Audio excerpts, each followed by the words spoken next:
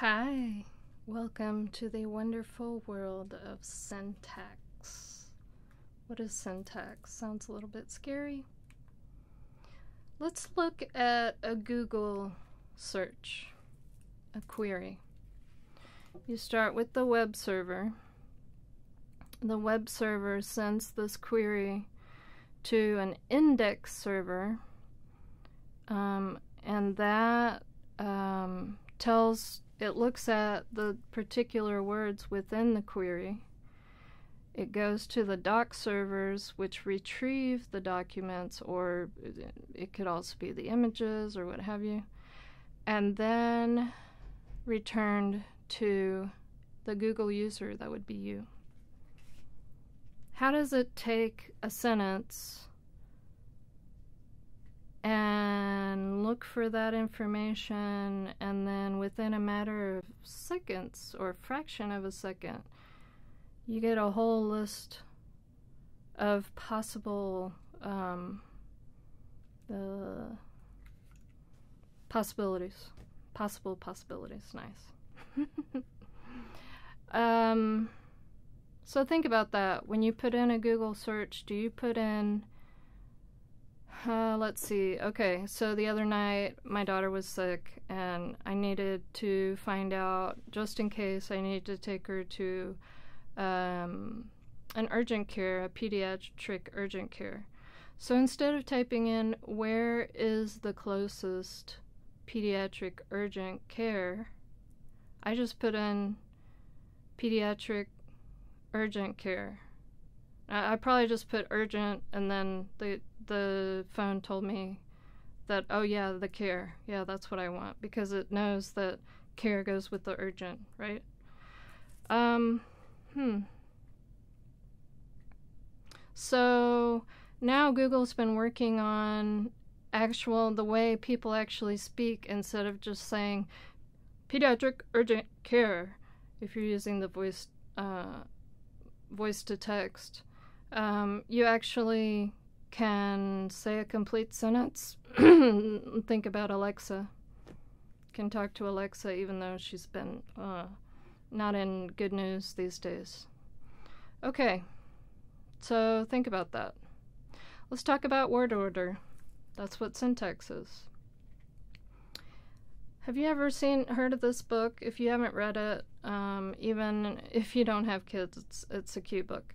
Silly Sally went to town. So could I say Sally Silly went to town? To town went Silly Sally? Went to town Silly Sally? Town to Silly Sally went. Hmm. It's actually Silly Sally went to town walking backwards upside down. See, I know it by heart. okay, so what is syntax? it's word order, right? This is Layla when she was like four or five. I love the the glasses. It's it's a cool look, isn't it? So when Layla was younger, maybe around three, um, she did what many other kids do, which is um, she said something similar to "Me want cookie." Is this correct syntactically? Is it correct? Well, it's incorrect grammar because the me in the subject position, because here we have subject, verb, object, right? The me actually needs to be changed to I in the subject position, but she hasn't gotten that far in her thinking yet. And actually, some languages don't have that difference of me and I. One is a, an object and one is a subject. Some languages don't have that. So um, if you say her want flowers, it's the same thing. Her, she. Okay. So grammatically it's not correct, but syntactically it is correct because of the word order. So let's look at it. Um, for syntax, the part of speech versus the role of a um, of a word is important. So the argument, you have argument, and then you have complements.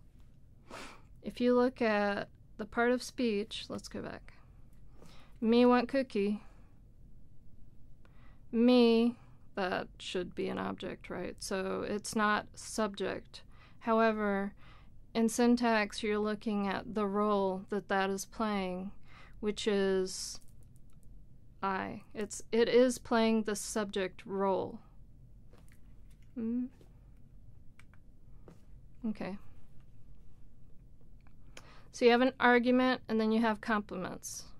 So the argument's the subject, and then the complements is everything else. Yeah. Um, here we have non subject arguments. Silly Sally devoured an apple. Sally wondered about Bob. So here you have Silly Sally. That's the argument. Subject. Sally. Silly is not necessarily needed. And then devoured an apple is complement. Yeah? For a sentence to be well formed, all the expression it contains have to have all and only the arguments needed. So if you don't need to know that Sally is silly, unless Silly Sally is her actual name, given name, that part of it is not needed unless that's part of what you're talking about. That's that is a major part of your conversation. So that's this sounds really confusing. Let's let's go back to the cookie. So we have an argument. What's the argument? Me. It's all about me, especially for toddlers. For a sentence to be well formed, whatever's here is needs to be important. So that's why kids generally don't pick up articles or endings for verbs or tenses until later because the main p- part of that is me want, right? Cookie maybe I want five cookies, but I'm just going to say cookie because you know what that means, right? Because I imagine Cookie Monster wants more than one cookie. Um, okay, more on syntax adjuncts. Adjuncts are optional. So silly, as I said, silly is optional, unless that's part of her actual name, right? Um, Sally went to France with her brother on Saturday. So think about what parts of this sentence are optional. And also, agreement is optional. Agreement, as in her want flowers or flower, instead of she wants flowers. Yeah. So we have arguments, which are obligatory, and then adjuncts are optional. So the arguments would be we left. What did you leave? What? The house. When? Early. Yeah? Argument he studies. Oh, what is he studying? Syntax. when? Oh, before class. Yeah, those are optional. So let's go back to part of speech versus role. Um, so if you think about me want cookie What's your argument? What are the complements? I would say so you need to have all and only the arguments needed. Sorry, you can't see the rest of that, but I had it on the slide before. Um, me want cookie doesn't really have any optional information in it, does it? I would say, if I said, I would like to have a chocolate covered Oreo cookie. Hmm, that sounds good. Then what part of that would be complements? Think about that. So, this is a famous saying. Noam Chomsky. It's hard to read this right here, sorry. Car- colorless green ideas sleep furiously. Something can be correct syntactically, so word order is correct. Colorless, adjective green, ideas, so the ideas sleep, right? Adjective, adjective, noun, and think about what role it's playing in the sentence as well, right? So these are are doing ideas is doing the action.